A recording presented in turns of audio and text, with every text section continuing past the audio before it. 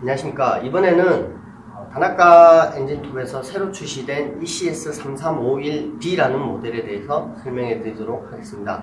어, 전작인 ECS3350D와 히다치 엔진톱 CS33EC 모델과 동일한 기종이며 어, 이번에 나온 신제품 3351D에는 체인 브레이크가 장착이 되어 있습니다. 그 체인 브레이크 장착 유무 말고는 어, 3350D와 CS33EC 히다치 엔진톱과 조립 방법 및 시동법이 동일하기 때문에 통합해서 ECS3351D 모델로 설명해 드리도록 엔진 본체 그리고 가이드바와 가이드바 커버 체인날 그리고 플러그 렌치 정비할 때 쓰는 일자 드라이버 그리고 매뉴얼이 있습니다. 제일 먼저 박스를 개봉했을 시에 여타 톱과 마찬가지로 체인 브레이크가 지금 걸려있는 상태입니다. 뭐 브레이크를 먼저 해제해 주시면 되겠습니다. 이 모델 같은 경우 말고 어, 같은 모델인 3350D와 CS33EC는 이 체인 브레이크가 없는 관계로 해제를 하지 않으셔도 무방합니다. 그리고 플러그 렌치를 이용하셔서 클러치 카바 너트를 풀어주십니다. 그리고 카바를 제거해 주시고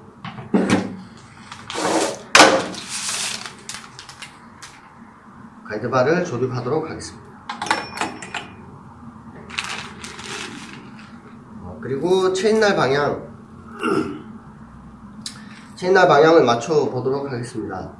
계속 어, 설명을 드렸던 부분인데 이게 요 체인 날이고 이 부분이 체인 코 그리고 이 부분이 날입니다. 이 체인 코가 가이드바 전방을 향하게끔 조립을 해주시면 됩니다.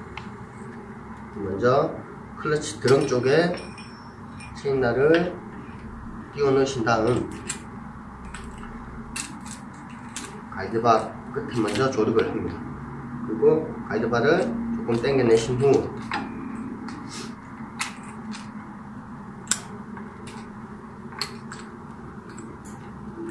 윗날, 아랫날 순으로 조립을 해주시면 됩니다.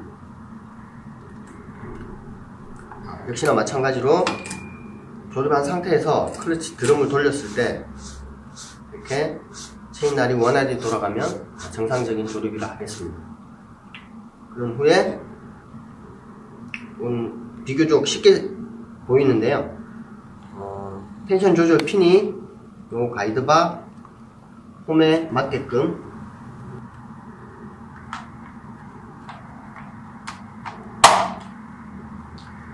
그리고 텐션 조절 나사를 이용하셔서 홈에 맞게끔 조절을 해주신 후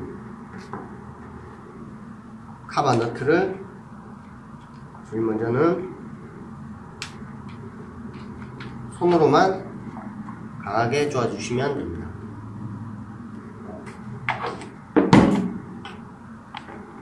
이렇게 조립하고 나면 체인 날이 조금 처지게 되어 있습니다. 그럼 텐션 조절을 한번 해보도록 하겠습니다. 측면에 있는 텐션 조절 나사를 이용하셔서 시계 방향으로 돌리시면 점차 체인날의 텐션 조절이 이루어지게 되어 있습니다.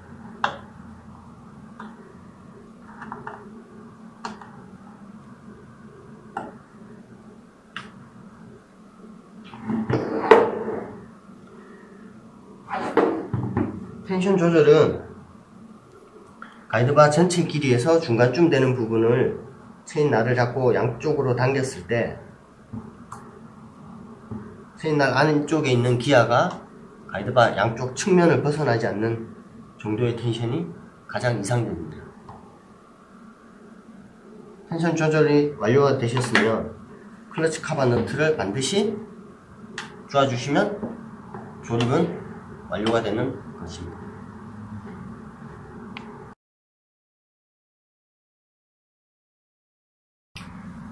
다음은 시동 방법에 대해서 알아보도록 하겠습니다. 가장 먼저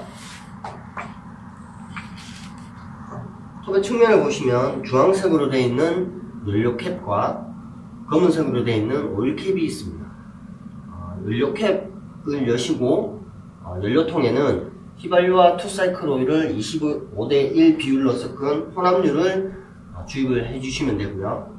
오일 캡에는 보통 two-cycle 오일을 많이 쓰시는데 그 점성 때문에 어, 가능하면 four-cycle 오일을 써주시는 편이 조금 더 어, 기계에 안정감을 줄 수 있으니까 four-cycle 오일을 써주시는 게 훨씬 좋습니다. 지금은 양쪽 다 어, 주입이 끝난 상태이기 때문에 바로 시동 방법에 대해서 알아보도록 하겠습니다. 가장 먼저 톱의 손잡이 쪽에 있는 이 온오프 스위치를 온의 위치로 올립니다. 그런 후에 톱의 앞쪽에 있는 프라이머를 4, 5회 정도 당기, 누르시면 이렇게 안에 연료가 찹니다. 프라이머 바로 밑에 있는 초크레바를 당겨내신 후에 강하게 시동 로프를 2, 3회 정도 당겨주시면 됩니다. 오른발로 핸들을 밟으시고 왼손으로 왼 핸들을 강하게 누르신 후